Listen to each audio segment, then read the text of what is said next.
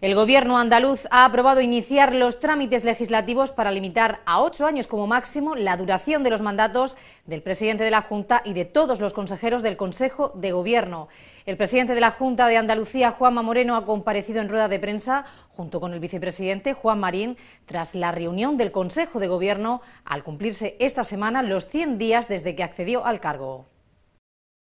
Hemos aprobado iniciar los trámites necesarios para limitar por ley a ocho años como máximo la duración del mandato de un mismo presidente de la Junta de Andalucía y de todos y cada uno de sus consejeros.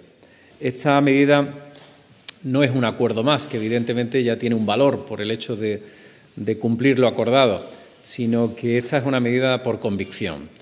Moreno ha informado que el Consejo de Gobierno ha aprobado tres iniciativas con las que dan cumplimiento a las 21 medidas para los primeros 100 días del Gobierno. Ha asegurado que la modificación legislativa para limitar la duración de los mandatos no es un acuerdo más, sino que es por convicción de que esto permite una mayor alternancia en el Gobierno.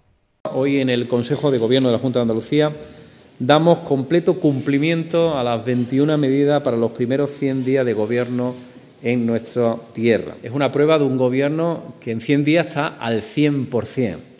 Un gobierno que cumple con las propuestas que hizo en su campaña electoral. Decimos lo que hacemos y hacemos lo que decimos.